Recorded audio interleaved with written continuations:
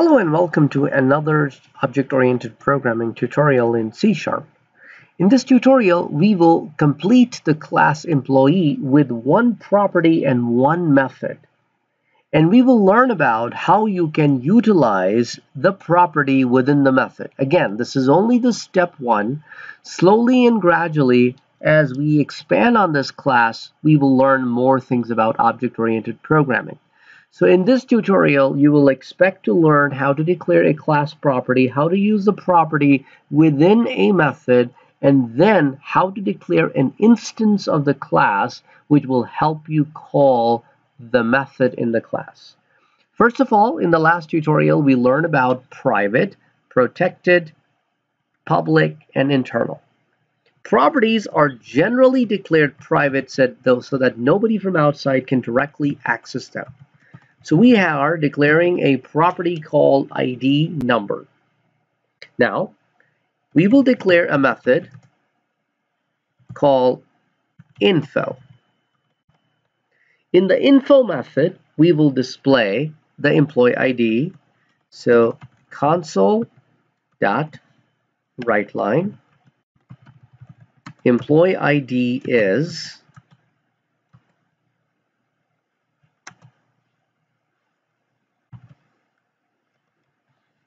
ID number. After you have completed the class with one property and a method that taps into that property, make sure you save the changes. If you ever see an asterisk next to the name, that means the changes have not been saved, like you see with program.cs. Now let's switch over to program.cs, which is where my main method is. In the main method, we will now learn how you can declare an instance of the class, which is a variable of class type.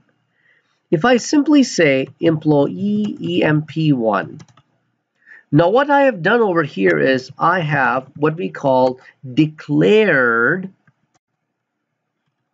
a null pointer of employee type. What exactly does that mean? That means I've declared somebody called emp1 whose data type is employee, but it has neither allocated memory nor is usable. So it's null. Pointer means it's pointing nowhere in the memory. Therefore, whenever you declare an instance, you want to avoid the situation if you want to use the instance right away. In some cases, you want to declare the instance and then later on you want to instantiate it so that you're not holding on to memory unnecessarily. So here, the process of instantiation, instantiation is a process that allows you to declare and allocate memory for the class instance. So we type the word new after the word equals, which allocates memory on behalf of the instance provided by the name of the class. Now, technically speaking, it's not really a class. It is a method or a function. As you can see the parentheses, it has the exact same name as the class.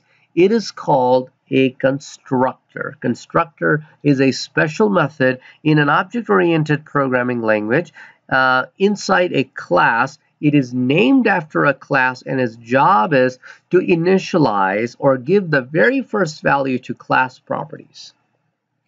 Now that the instance has been instantiated, now I can use this instance and notice as soon as I use the period delimiter, among all the methods it can call, it can call info, which is the method that we declared in the employee class.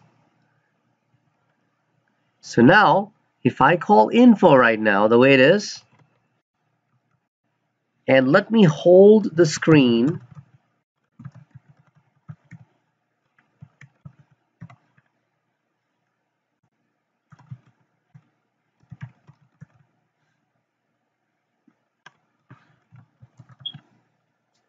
And now let's run the program so that you can see what is the output.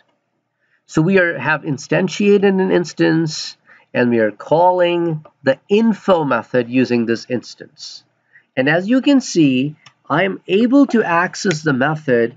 It says employee ID 0 because inside the employee class, I never assigned any value to ID number. It's still set to zero. That's why when I run this program, I get an output of zero. Now let me stop the program and let's change the value of ID number to a different value and let's rerun the program. And you will notice that now it says that the employee ID is 100. Also, there is another way of displaying the output, and that is in C Sharp, just like Java or other languages, you could have placeholders. And the first placeholder is always zero, and then one, two, three, like that. And outside of the double quote, you can put a comma and then followed by comma you can make a list of all the variables. So if you if you have let's say three variables then you can have a curly braces 0 curly braces 1 curly braces 2 and then with comma delimited you can list three variables and each one of them will going to fall in the same order in which you list them.